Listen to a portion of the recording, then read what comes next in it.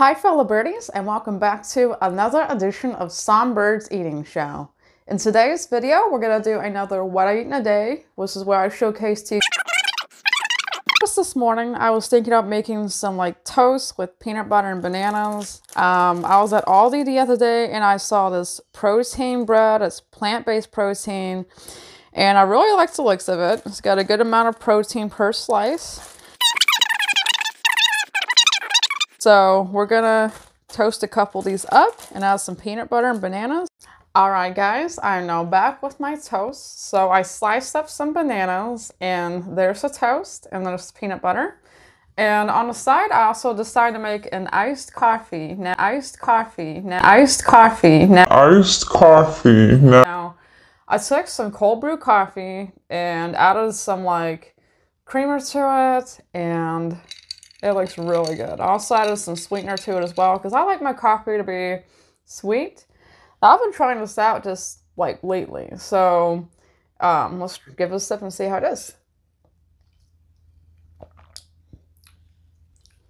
That's not that bad. It's not quite as good as some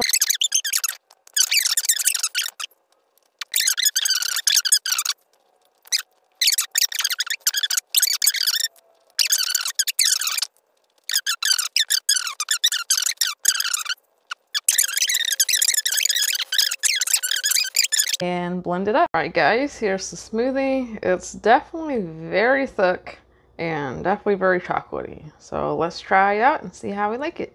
All right guys, here it is. So let's try this up.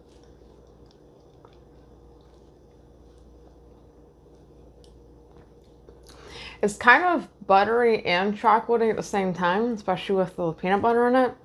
Like with avocados, you kind of get a nutty, nutty, buttery taste to it.